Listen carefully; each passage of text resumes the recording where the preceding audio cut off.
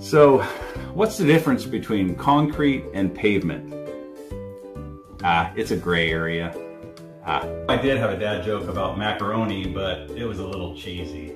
Ah. The unicycle kept asking the bicycle to come out and play, but the bicycle was always too tired. Ah. When I was a kid, I actually wanted to be a plumber, but then I was told it was just a pipe dream. Ah.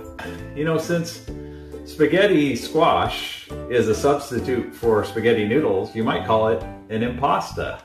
Ah. Two eggs are boiling in a pot. One of the eggs says, Wow, it's hot in here. The other one says, Whoa, a talking egg.